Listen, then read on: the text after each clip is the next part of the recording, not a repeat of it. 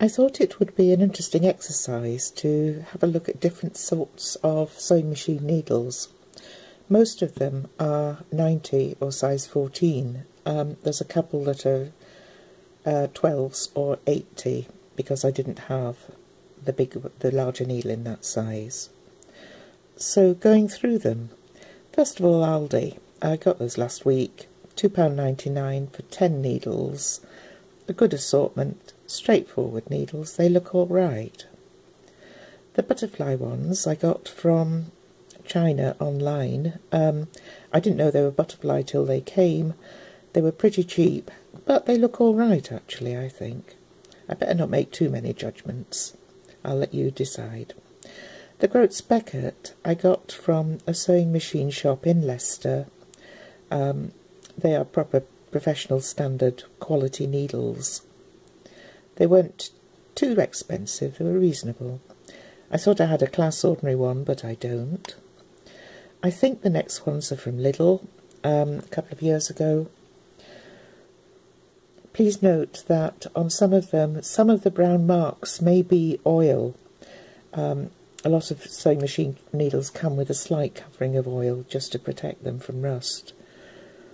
The organ needles I got 10 a couple of week, couple of months ago. Reasonable, not dead cheap. Um, again, online from China. But they're, yeah.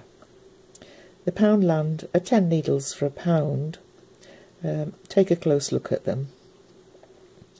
I thought, again, I thought I had Schmetz ordinary needles, but I don't, so that one is empty. And the last one there, that's a really old Singer needle. It's probably got dried oil on it, um, or rust, but it's probably browned off oil.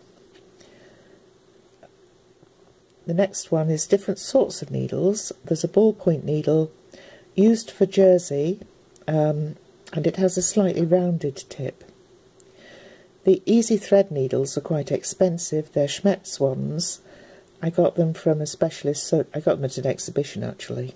Um, and they've got a groove in, so when you get fr totally frustrated with trying to thread your sewing machine needle, I think they could be worth it. And I th think those might be 20s, sorry, 12s rather than 14s. A jeans needle is a much chunkier needle and has a slightly bigger point. If you look at the leather needle, you'll see that the point there is really, really sharp. And the metallic needle has a very large eye and is probably specially rounded. And lastly, I just thought I'd stick in a twin needle so that you can see what they look like. You can decide. I think from now on I'm going to go for good needles, but look for them cheap.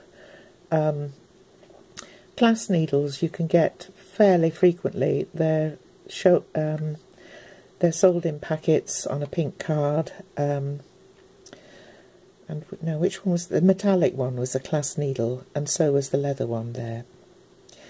Okay, enjoy sewing. Bye.